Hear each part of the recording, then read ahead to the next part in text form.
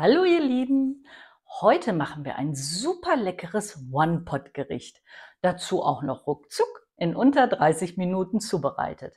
Und zwar machen wir eine ganz leckere Bratwurstpfanne Jägerart mit Gnocchi in einer super cremigen, leckeren Soße. Und das Rezept und die Mengenangaben findet ihr wie immer unten in meiner Videobeschreibung, also schaut da mal rein. Und wie das Ganze zubereitet wird, na das seht ihr wie immer jetzt. Und dann würde ich einfach mal sagen, auf geht's!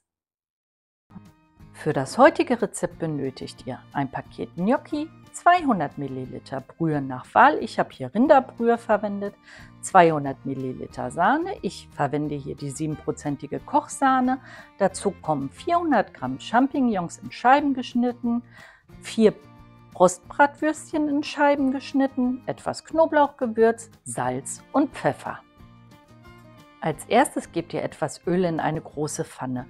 Ich empfehle euch hier eine 32er Pfanne zu verwenden, da eine 28er eventuell etwas zu klein sein könnte. Falls ihr keine so große Pfanne habt, schaut gerne mal in meine Videobeschreibung, da ist ein Link vorhanden. Und jetzt braten wir die Bratwurst in heißem Öl an. Die Pfanne solltet ihr in diesem Fall auf höchste Stufe stellen. Bei mir ist das Stufe 9 von 9. Dann die Bratwurst einmal richtig gut in der Pfanne verteilen, damit sie auch schön einzeln und nicht übereinander liegen. Deshalb ist es hier auch vom Vorteil, eine etwas größere Pfanne zu verwenden. So, die Zutaten, die habt ihr ja jetzt schon gesehen. Und jetzt ein ganz kleiner Tipp. Macht die Pfanne wirklich auf höchste Stufe, um die Bratwurstscheiben richtig schön von beiden Seiten anbraten zu können. Außerdem braten wir da drin ja dann hinterher auch die Champignons und die brauchen auch richtig Hitze, damit sie ihr Wasser verlieren und schön braun werden. Mehr dazu später. Ja, und dann geht's jetzt los mit der Zubereitung. Das Braten der Bratwurst dauert auch wirklich nicht lange, maximal so vier Minuten. Sie sollte von beiden Seiten richtig schön krossbraun angebraten sein. Und bei der hohen Temperatur geht das wirklich relativ schnell, da müsst ihr wirklich aufpassen. Wenn die Bratwurst von der einen Seite braun ist, einmal alle Scheiben wenden. So, und bevor die Wurst von der zweiten Seite richtig braun ist, kommen schon mal die Gnocchis dazu, denn die wollen wir jetzt mitbraten. Und die Pfanne lasse ich wirklich die ganze Zeit auf höchster Stufe.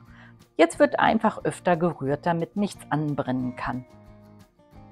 Denn die Gnocchis, auch die möchten wir richtig schön braun haben. Das dauert jetzt auch noch mal so ungefähr drei Minuten lang. Und nicht vergessen, immer wieder zu rühren, denn sonst verbrennt es. So, die Pfanne, die würze ich jetzt erst einmal nur mit Paprika edelsüß. Und dann das Ganze unter mehrmaligen Rühren richtig schön weiter braten, bis die Gnocchi auch richtig gebräunt sind. Die müssen jetzt nicht richtig dunkel werden, aber sie sollten schon eine schöne bräunliche Farbe bekommen. So, und wenn das Ganze jetzt so aussieht wie bei mir, die Gnocchis haben jetzt auch eine schöne goldbraune Farbe, dann nehmen wir alles aus der Pfanne heraus, geben es in eine Schüssel oder auf einen Teller und stellen es erstmal beiseite. So, und wenn ihr jetzt alles aus der Pfanne raus habt, dann ist ja nur noch ein ganz minimales kleines bisschen Öl in der Pfanne und das lasst ihr auch so, kein zusätzliches Öl bitte. Jetzt gebt ihr auf ganz hoher Stufe, wie gesagt, die Champignons in die Pfanne und dann lasst ihr die erstmal einen Moment braten, damit sie ihr Wasser verlieren können. Und dann gebt ihr ein klein bisschen Salz drüber. Dadurch entziehen wir den Champignons dann das restliche Wasser. Und dann lasst ihr das Ganze so lange braten, bis es richtig schön braun geworden ist. Wie gesagt, habe ich jetzt kein zusätzliches Öl mehr in die Pfanne reingemacht und gebe jetzt die Champignonscheiben hinein. Das Ganze unter ständigem Rühren erstmal schön in der Pfanne verteilen und ein bisschen Wasser ziehen lassen. Das ist ganz wichtig, damit die Champignons hinterher nicht zu labberig und wässrig schmecken, denn wir wollen die ja auch schön braun bekommen. So, und jetzt schon ziemlich zu Anfang gebe ich so zwei, drei Prisen Salz darüber, denn dann verlieren die Champignons noch viel schneller ihr Wasser.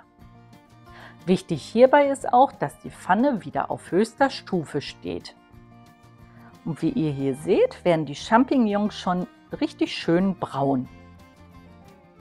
Und von den Champignons bleibt nicht wirklich viel in der Pfanne übrig, denn wenn die ihr Wasser verloren haben, bleibt vielleicht noch maximal ein Drittel von dem, was jetzt da ist. Die Pfanne immer wieder schwenken und immer wieder rühren. Das ist das Allerwichtigste, denn wir wollen ja nicht, dass uns die Champignons anbrennen. So wie ihr hier sehen könnt, ist das Volumen schon deutlich kleiner geworden. Von den vielen Pilzen ist jetzt nicht mehr viel zu sehen. Aber genau das wollen wir erreichen. Jetzt bekommen wir den typischen Brateffekt an die Champignons. Die werden jetzt richtig schön braun und entfalten ihr gesamtes Aroma. Und das schmeckt hinterher wirklich fantastisch. Das Ganze, das dauert wirklich ein paar Minuten. Die Champignons, das merkt ihr, wenn die kein Wasser mehr haben, dann werden die richtig schön braun und auch ein bisschen kross. Und genau das wollen wir erreichen. So sehen die doch jetzt schon wunderbar aus. Tolle Farbe haben sie bekommen, sind richtig schön braun geworden. So, und jetzt haben sie genau die richtige Farbe. Jetzt kommt die Gnocchis und die Bratwurst wieder zurück in die Pfanne zu den Champignons. Und das Ganze jetzt unter ständigem Rühren nochmal schön zusammen braten lassen. Die Herdplatte könnt ihr jetzt allerdings auch herunterschalten und zwar nur noch auf halbe Kraft, circa Stufe 5 von 9. Und immer wieder auch mal kurz durchschwenken, damit sich alles gut in der Pfanne verteilen kann. Und jetzt fangen wir mal an zu würzen. Wir würzen das Ganze mit ein bisschen Salz, nicht zu viel, weil wir ja nachher noch Brühe dran machen. Natürlich darf auch etwas Pfeffer nicht fehlen, da müsst ihr einfach sehen, wie scharf ihr es am liebsten mögt. Das ist immer individuelle Geschmackssache. Und dann gebe ich an das Ganze jetzt auch noch ein bisschen Knoblauchpulver ran. So circa einen halben Teelöffel. Jetzt wird das Ganze einmal gut miteinander verrührt, damit sich die Gewürze auch richtig gut in unserem One-Pot-Rezept verteilen können. Ja, und wie das leider manchmal so ist, habe ich glatt vergessen, eine Szene aufzunehmen. Und zwar, wie die Soße angesetzt wird.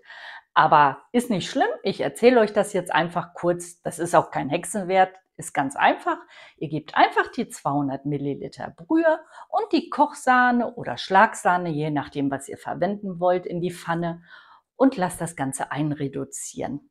Und viel mehr ist da auch nicht dran. Leider vergessen aufzunehmen. Ja, und jetzt geht's weiter mit dem Rezept. Viel Spaß! Ja, und wie gesagt, die Soße ist jetzt leider schon drin. Ich habe einfach nur die Brühe und die Sahne dazugegeben und unter mehrmaligem Rühren auf mittlerer Stufe richtig schön einreduzieren lassen, damit alles schön cremig wird. Denn wir wollen ja eine richtig schöne cremige Soße. Und damit wir diesmal nicht mit Soßenbinder oder Speisestärke andicken müssen, lassen wir das Ganze richtig schön runter reduzieren. Ja, und wie ihr jetzt seht, ist das Ganze schon richtig schön einreduziert und zu einer cremigen Soße geworden. Und genau so sollte das Ganze jetzt auch aussehen. Und es duftet einfach wunderbar nach Pilzsoße. Manchmal würde ich mir wirklich Geruchsfernsehen für euch wünschen. So, die Herdplatte stelle ich jetzt aus und lasse es nur noch kurz reduzieren. Und das macht ihr einfach so lange, bis die gewünschte Konsistenz der Soße für euch erreicht ist. Das ist bei mir jetzt soweit. So, trotz kleiner Pannen hoffe ich, das Rezept hat euch heute wieder gefallen. Und ich würde mich wirklich freuen, wenn ihr beim nächsten Mal auch wieder bei mir einschaltet. Und schaut gern mal unten in die Videobeschreibung, denn da findet ihr auch Amazon-Links, mit denen ihr mich wunderbar unterstützen könnt. Wie das alles funktioniert, habe ich in die Videobeschreibung geschrieben. Ich freue mich über jeden, der über meine Links bestellt. Vielen Dank. Ich wünsche euch noch einen schönen Tag. Tschüss. Ja, und natürlich möchte ich euch das leckere Ergebnis auch nicht vorenthalten. Hier ist es, das tolle One-Pot-Rezept. Bratwurstpfanne Jägerart mit Gnocchi in cremiger Soße. Ich hoffe, ich habe euch nicht zu viel versprochen. Ja, ich hoffe, mein Rezept hat euch heute wieder gefallen. Dann würde ich mich freuen, wenn ihr beim nächsten Mal auch wieder mit dabei seid. hier bei mir in Karinas Kochecke. Ich freue mich schon auf euch. Bis zum nächsten Mal dann. Tschüss.